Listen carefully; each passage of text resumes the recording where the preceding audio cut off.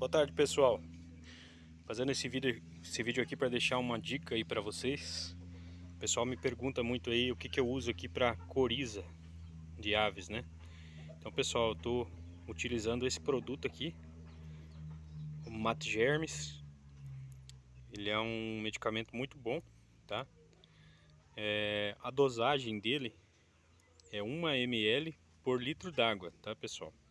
Aqui ele vem o, o medidorzinho aqui, né? Igual aqueles medidorzinhos de xarope, né?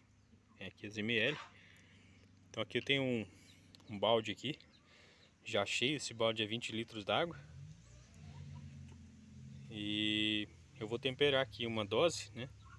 Então como ele é 20 litros d'água, eu vou colocar aqui 20 ml, né?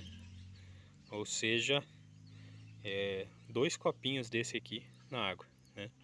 Mistura bem e leva nos bebedouros aí para as aves. Ele é muito bom, tá? Ele limpa a coriza, aquela coriza infecciosa ali dos olhos, né? Do, do pintinho, de ave adulta mesmo, que, que, forma aquele pus ali, né? Então ele resolve, é muito bom, né? Porque a gente utiliza outros medicamentos também, só que tem alguns medicamentos que é, a coriza vai adquirindo uma certa resistência, né? Então sempre tem que estar tá trocando, né? Tem o Thailand, tem o Tiladem, tem a amicina, tormicina, sulfamicina, um monte de medicamento, né?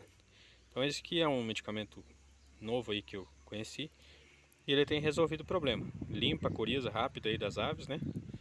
Você pode... Eu vou deixar aqui também, na descrição do vídeo, eu vou colocar aqui a bula dele completinha aí, para quem quiser ver certinha a dosagem.